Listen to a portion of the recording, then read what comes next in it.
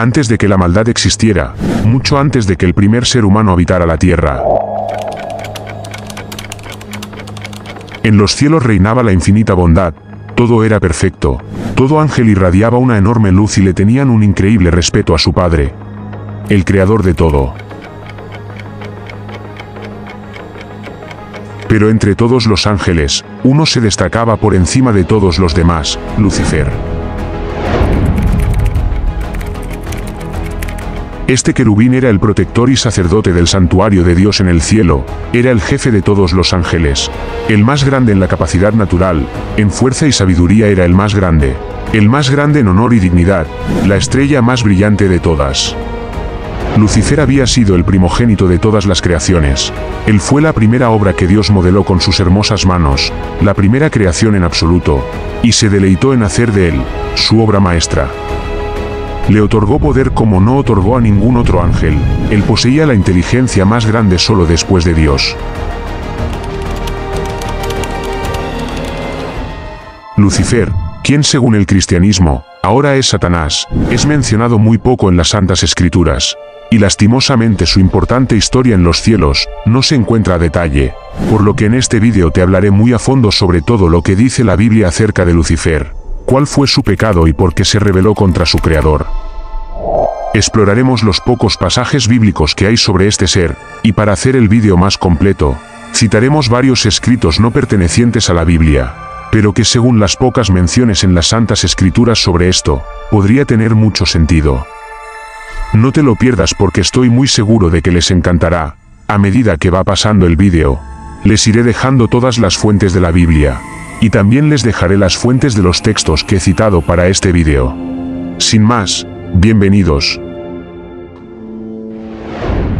A lo largo del tiempo, este ser que alguna vez fue un ángel de los más respetados y admirados, ha tenido un papel importante en el cristianismo, ya que Satanás representa la maldad y el sufrimiento eterno. Es el adversario de Dios y tentador primero. Su único objetivo, tal como lo plantean las Santas Escrituras, es seducir a los que guardan los mandamientos de Dios y conducirlos hacia sus propias tinieblas. Por lo tanto, es importante conocer más sobre este ser. Pero, ¿qué nos dice exactamente la Biblia?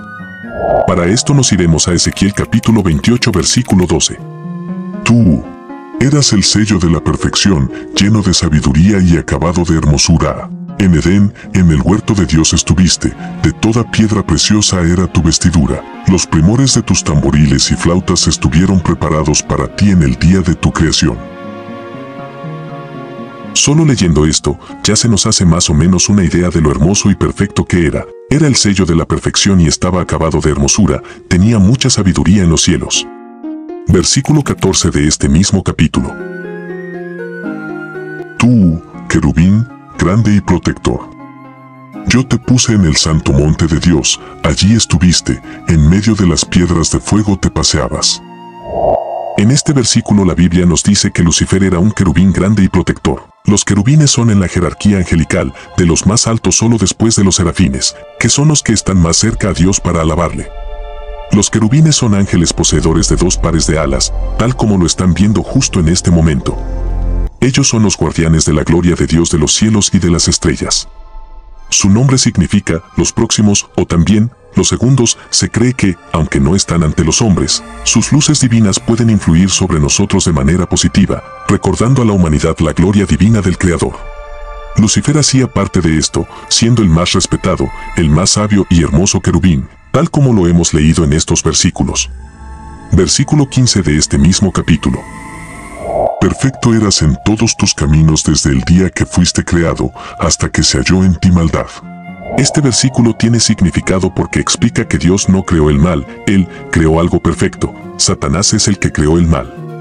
A causa de la multitud de tus contrataciones fuiste lleno de iniquidad y pecaste, por lo que yo te eché del monte de Dios y te arrojé de entre las piedras del fuego.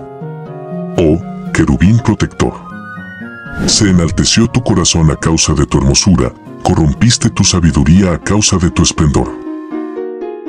Pueden encontrar más en Ezequiel capítulo 28, los invito a que lo lean. Ya nos queda más que claro que Lucifer por su belleza y su sabiduría, por el deseo de querer más, se llenó de mucho odio y maldad, lo que lo llevó a pecar. Él lo tenía todo, respeto, amor de su padre, admiración del resto de ángeles. Pero Lucifer quería más, en su corazón creció el orgullo y a causa de esto, quiso tener la gloria de Dios. Es importante que recordemos esto, porque ahora citaré otros textos que no se encuentran en la Biblia, pero que nos da mucho más detalle de lo que posiblemente pasó en su caída y la guerra que hubo en el cielo. Isaías capítulo 14 versículos 12 al 14 también nos habla de Lucifer. ¿Cómo caíste del cielo, oh, Lucero, hijo de la mañana? Cortado fuiste por tierra, tú que debilitabas a las naciones. Tú que decías en tu corazón, subiré al cielo, en lo alto, junto a las estrellas de Dios. Levantaré mi trono, y en el monte del testimonio me sentaré, a los lados del norte. Sobre las alturas de las nubes subiré, y seré semejante al Altísimo. Jesús también vio cómo Satanás cayó del cielo, en Lucas capítulo 10 versículo 18, Jesús dice, Yo veía a Satanás caer del cielo como un rayo. Como dije anteriormente, hay muy pocas menciones de Lucifer y su caída, por lo que solo podemos tener en cuenta esto que hemos mencionado. Ahora, con todos estos capítulos y versículos de los que ya hablamos, citaremos uno de los libros que para mí explica mucho más a detalle su verdadera caída. Claro, esto se los digo porque ya lo leí y tiene mucha similitud con todo lo que dice la Biblia. El siguiente relato está inspirado en el libro Historia del Mundo Angélico del sacerdote Antonio Fortea. Algunas de las cosas las mencionaré de manera literal, tal como lo plantea este excelente escritor y sacerdote, y otras no, por lo que les dejaré en la descripción la fuente, por si quieren leerlo ustedes mismos. Yo se los recomiendo muchísimo. Ahora sí, empecemos. Lucifer era el más hermoso y el más poderoso de todos los ángeles. Irradiaba más luz que cualquier ángel que existía. Su belleza en los cielos y su enorme poder no se comparaba con ningún otro ángel. Lucifer, también conocido como la estrella de la mañana, era brillante e inteligente. Él sería el sello de la perfección, lleno de sabiduría y acabado en hermosura. Todos los ángeles lo admiraban y lo respetaban. Ciertamente, Lucifer era la más bella creación de Dios, su obra maestra. No podrían hacerse una idea de cómo era él cuando salió de las manos de Dios. No pueden imaginar cómo después muchos pudieron alejarse de Dios por seguir a una criatura. Por muy grande que sea el Sol, cuando uno se pone detrás de la Luna, esta misma le puede eclipsar totalmente. Así también, si uno se ponía detrás de Lucifer, daba la sensación de que él era el centro de todo. El lucero de la mañana, daba la sensación de que el solo valía más que todo el resto de las jerarquías angélicas. No era así, pero era tan increíble, una obra tan perfecta, que daba la impresión de que así era. Aún no comprendo cómo el ángel más hermoso y fiel a Dios pudo caer tan bajo. Aún no entiendo cómo el sol más brillante en un universo de soles pudo convertirse en lo que actualmente es. Si no te imaginas esto, difícilmente podrían imaginar cómo pudo convencer a tantos ángeles para que lo siguieran a él y no a Dios. No podrían entender cómo tantos se alinearon a sus filas. Los ángeles no eran tontos, no eran unos niños pequeños a los cuales podrían engañar con discursos pobres. Él fue el primero en surgir de Dios hacia la oscuridad de la noche, por eso se le llamó, estrella de la mañana pues la estrella de la mañana es también la primera en aparecer en la oscuridad de la noche. Esta fue la primera estrella que brilló en la noche de la creación. Después aparecieron los demás ángeles en el firmamento. Lucifer también significa, el que trae luz, y verdaderamente, él traía luz. Porque les explicaba tan bien cómo era el que es. Era placentero escucharle, porque Lucifer era bueno, amaba a Dios, Tenía buenos sentimientos y los compartía con el resto de los ángeles, solo deseaba hacer el bien a los demás. Todos nosotros oímos hablar de él cuando ya era malo, pero no fue siempre así. Fue lo mejor entre los ángeles, su bondad, su autoridad, su respeto, su ascendiente eran completamente merecidos. Su boca habló de Dios, como nadie lo había hecho nunca. Algunos eran tronos, algunos eran príncipes, Lucifer era trono de tronos, y príncipe de los príncipes. Si comprendieras cómo era esta obra maestra de Dios, entenderías por qué Dios mismo elogia su propia obra en el libro de Job al hablar de Leviatán. Y es que ni su pecado ha destruido la obra de Dios, incluso en su pecado, permaneció con fuerza. Como ya se mencionó, entre los ángeles habían jerarquías, Lucifer era de la más alta jerarquía, de los que ofrecían el sacrificio de alabanza, él era el sumo sacerdote. Su voz poderosa y profunda se elevaba por encima de los coros del resto de ángeles para honrar a Dios.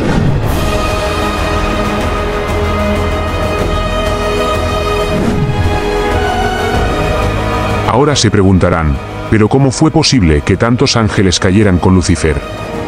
Para ellos era más fácil comprender a una criatura, que no a la trascendencia. El fundamento absoluto estaba velado por las nubes de la trascendencia. Mientras que la criatura se les mostraba como un objeto más comprensible al entendimiento de ellos. Por lo mismo, muchos de los ángeles excedían su admiración por él, algunos iban más allá de lo razonable, de lo justo, de lo adecuado. Pero eso no le afectó, Lucifer era recto y honrado. Le admiraban, pero había algo que no sabían. Dios le hablaba a menudo, a solas. Las palabras paternales del fundamento supremo le advertían que se dejaba llevar por pensamientos mundanos. No es que pensara cosas malas, no. Pero Lucifer se dispersaba en asuntos que enfriaban su corazón. Sus propios proyectos intelectuales le quitaban tiempo de estar con Dios. La comunicación con otros ángeles fue ocupando más y más tiempo del que debería haber ocupado, en la conversación con su padre. De forma casi imperceptible, su amor se fue enfriando. Aún no había cometido ningún pecado, pero sin darse cuenta, su psicología fue cambiando. Se trató de un cambio que estuvo muy en lo profundo de él, y aunque ninguno lo percibía, Dios sí que le hablaba con frecuencia y le advertía, en Lucifer hubo propósitos y caídas en la tibieza, momentos en los que se deseó con toda su fuerza, debo amar más al que todo me ha dado. Lucifer no se apercibía, pero el bien de otros y su propio honor cada vez se identificaban más, cada vez eran una sola y misma cosa. Lucifer se había transformado en un ser volcado en lo extremo. A través de todas estas etapas, resultaba cada vez más evidente que hubo un acrecentamiento de la propia consideración que Lucifer tenía de sí mismo, pero todavía no había pecado. Aún así, Dios le habló tantas veces al corazón completamente a solas, porque sabía que se acercaba el momento de la revelación que iba a realizar al mundo angélico. Aunque nadie lo supo, la revelación que iba a realizar se retrasó para que Lucifer creciera en humildad. Dios varias veces retrasó ese momento, varias veces le dijo que la revelación iba a suponer una gran prueba para él, y que tenía que prepararse. Hijo mío, el viento y las tensiones van a ser muy fuertes, tienes que prepararte. Lucifer le decía a su padre, sea cual sea la prueba, deseo ser obediente a tus mandatos, ni siquiera te digo que te seré perfectamente fiel, tan solo te digo que deseo ser fiel. Lo decía con todo su corazón, lo decía desde su más profundo ser, con sinceridad. A pesar de todo esto, a pesar de las incontables veces que el Padre Todopoderoso le habló a su corazón, a pesar de su gran belleza, de su gran poder, Lucifer comenzó a desear más, cada vez quería más y más. Comenzó a enorgullecerse de sí mismo y quería un poder aún mayor al que ya tenía. Quería que las alabanzas ya no fueran al Padre, él quería ser Dios.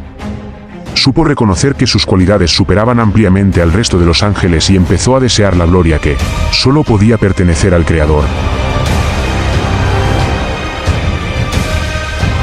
Lucifer era libre y, aunque le costase, podía superar sus propias tentaciones y ser fiel, aunque cayera, podía finalmente salir airoso de la prueba solo. Si Lucifer se sobreponía, saldría de la prueba más obediente, más humilde. Aún así, su padre volvió a retrasar el momento de la prueba. Volvería a aconsejarle, volvería a ofrecerle más tiempo, él lo quería mucho y como amor de padre a hijo, sintió que podía cambiar. Llegó un momento en el que hubo que pensar en los demás ángeles y no solo en la historia personal de uno de ellos, y el día que tanto se esperaba llegó. Se hizo el silencio en los cielos, el firmamento cayó y Dios habló de un modo solemne. Dios les dijo a los ángeles que crearía un universo material, les enseñó cómo la vida florecía en él, les dijo que crearía la humanidad. Tal noticia conmovió mucho a los ángeles, se alegraron mucho de oír al Creador anunciar esta gran noticia. Los sorprendió mucho. El plan de Dios era algo que jamás se les habría ocurrido. Y entonces añadió que hasta ahora le habíamos adorado a Él como Dios, pero que ahora les pedía algo más difícil, que le adoráramos hecho hombre. Jesucristo será su nombre. La segunda persona de la Santísima Trinidad, la cual para los ángeles era un misterio, se revelaría a la humanidad. Dios se les mostró bajo el misterio de la encarnación, y les dijo, adórenme bajo esta apariencia, adórenme bajo estos ropajes humanos.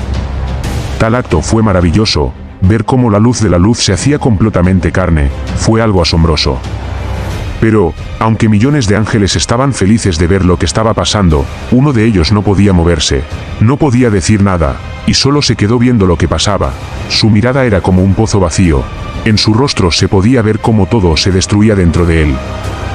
De pronto, un sentimiento le llenó de amargura, no había sido él, el elegido, para recibir la unión hipostática. Lucifer, dejó que el pecado se formara dentro de su corazón, dejó que en su ser entrara la envidia y la maldad, dejó que ese amor y respeto que le tenía al Padre se convirtiera en odio, todo esto por el poder. Lucifer evaluó las posibilidades por las que tal unión hipostática hubiera podido haberse llevado a cabo en él mismo. Lucifer, sin perder su propio yo, él, Lucifer, hubiera sido el vaso más perfecto para contener la divinidad hecha criatura sin dejar de ser Dios.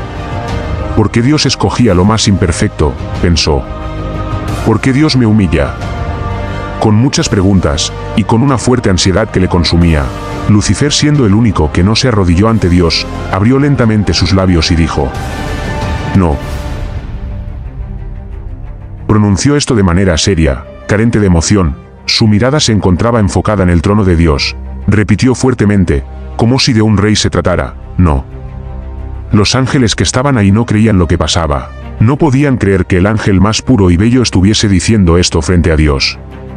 Vuelve su mirada a la multitud de ángeles y les explica con mucha seguridad que lo que Dios decía estaba mal. Con mucha inteligencia y sabiduría explica el porqué de esta afirmación. No se dan cuenta de que esto no puede ser, de que Dios no nos puede pedir un sinsentido. No somos nosotros los que tenemos que aceptar lo inaceptable. Es Dios quien ha hecho algo incorrecto, los ángeles quedaron sin palabras, tenían toda su atención a Lucifer, lo que decía parecía tener sentido, no porque lo fuera, sino que él sabía muy bien cómo hablar con sabiduría. Ante este primer discurso de Lucifer, se escuchó una voz muy fuerte, una voz asombrosa, que dijo, ¿Quién como Dios? Esta afirmación valió más que un discurso completo, fue el grito que despertó a todos. Su exclamación fue para muchos más convincente que todas las razones del rebelde. Así, él, el pequeño Miguel, un arcángel de menor jerarquía, se plantó junto a Lucifer y le dijo en la cara. Eres un soberbio. Esto se lo dijo cuando Lucifer aún era respetado y amado por todos, cuando estaba en la cima de su honor. Nadie se hubiera atrevido a hacer eso. Las palabras de Miguel poseían tal convicción, que hirieron profundamente a Lucifer. Para él fue muy doloroso, que tuvo que volver sus espaldas ante Miguel y retirarse. Lucifer lloró de rabia, pero no lo pudo resistir.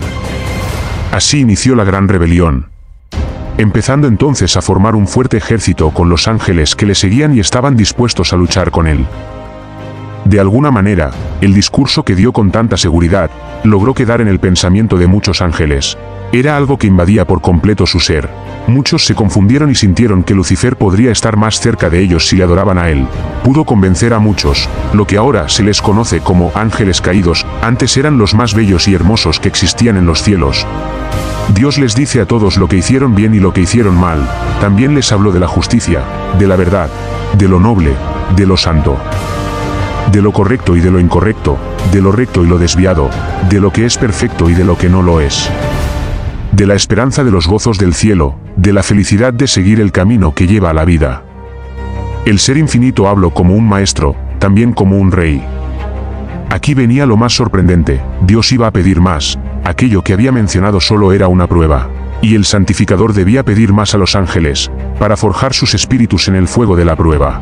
El misterio de la encarnación no era todo, se le reveló la historia de iniquidad que corrompería a los hombres. Esos seres finitos, ingratos, encima iban a rebelarse. No solo se iban a rebelar, también le iban a matar. Increíble, ¿podría ser más absurdo? Que te den la prueba más grande de amor, y tú respondas con el odio. De pronto algo cambió en muchos ángeles más. ¿Se suponía que tenemos que adorar a un Dios crucificado? Nosotros, seres gloriosos, debíamos arrodillarnos ante aquel cuerpo destruido, ensangrentado, cubierto de heridas, doliente hasta el límite. Pero la visión de la crucifixión fue algo terrible, esto fue lo que derramó la copa.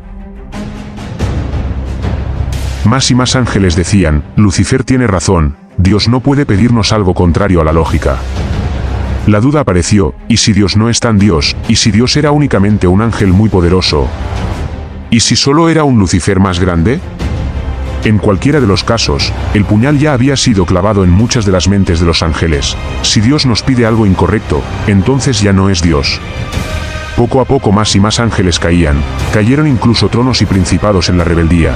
La desarmonía se extendió por todas las jerarquías, el poder del error no podía ser subestimado.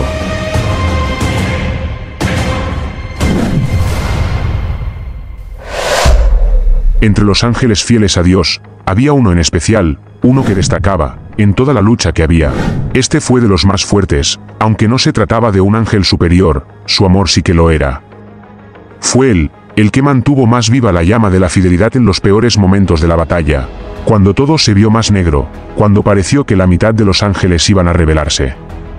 Y él pudo transmitir esa llama, se destacó en el bien y su fe alumbró a muchos, fue él el que en el momento más oscuro, en la hora más terrible en que las multitudes comenzaron a dudar, había gritado en medio del inicial silencio general. ¿Quién como Dios? Y así quedó su nombre, Miguel, el luchador infatigable e invencible. Miguel se seguía destacando como guerrero, la luz de su enorme fe y amor, alumbró a muchos. Finalmente hubo una fuerte lucha, Miguel y sus ángeles, contra el dragón y sus ángeles, donde la verdad, la fe y la esperanza ganaron. El arcángel Miguel, siendo un ángel de menor jerarquía, ganó la batalla, porque siempre estuvo del lado de Dios, siempre tuvo fe y su creador lo acompañó en todo momento. Esto dio como resultado que Lucifer, quien ahora es Satanás, fuese expulsado del cielo con todos los que le seguían, la tercera parte de todos los ángeles cayeron con él. Y así fue como terminó esta batalla en los cielos, donde el ángel que alguna vez fue el más perfecto y hermoso, fue expulsado. Desposeído de casi todos sus atributos, cayó a lo más profundo del abismo, y su propósito es seducir a los que guardan los mandamientos de Dios, para llevarlos hacia sus tinieblas. Es increíble esta historia, y espero que te lo hayas disfrutado tanto como yo. Gracias a todos los que se quedaron hasta aquí. Si les ha gustado, recuerden suscribirse, dejar su reacción y activar la campanita. Cuídense mucho y nos vemos pronto.